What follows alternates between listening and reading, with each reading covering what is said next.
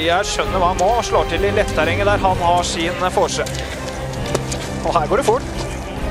Petter Northug har det i sine hender. Blir sekundert der, men han ser vel hvordan han ligger an.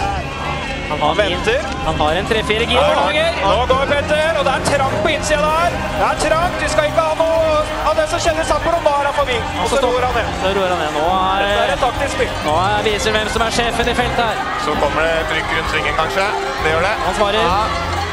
Skal han eksploderer rundt svingen her? Det er fartsøkningen. Nå tråkker Petter Northug til, og da klarer vel ikke Tsjernosov å følge. Nei da!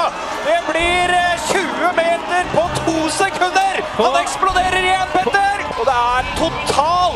total utklassing. Han slipper jo å spurte på oppløpet her. Og Norge vinner den eneste stafetten før OL i februar. Alt er som i fjor. Petter Northug gjør som han vil.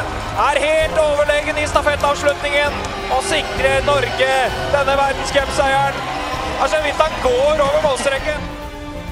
He starts last. No yellow bib in the start order today because uh, Ronnie Hofsas, who won the race last weekend in Bardestolen, is not racing today. He's focusing his efforts on next weekend's Biathlon World Cup in Ostersund.